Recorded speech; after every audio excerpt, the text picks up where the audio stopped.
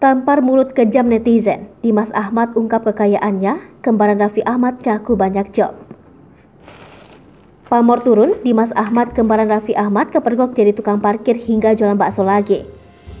Nama Dimas Ahmad kembaran Raffi Ahmad mendadak jadi perbincangan netizen. Awal tenar karena mirip dengan Raffi Ahmad, nasib Dimas Ahmad kini berubah drastis.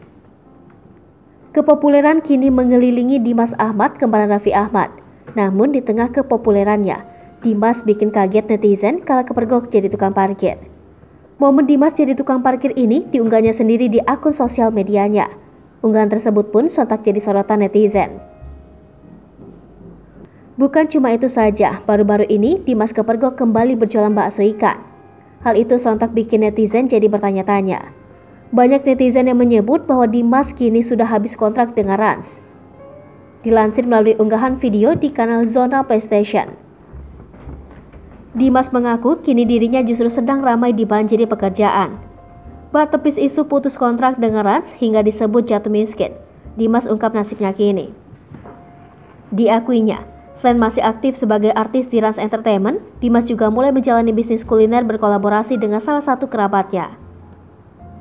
Masih bergabungnya Dimas dengan Rans Entertainment juga dibuktikan dengan bergabungnya ia dalam kartun animasi milik Rafathar. Hai pemirsa Sri Popo TV, jangan lupa komen, like, dan subscribe, serta tonton terus berita-berita terupdate lainnya ya.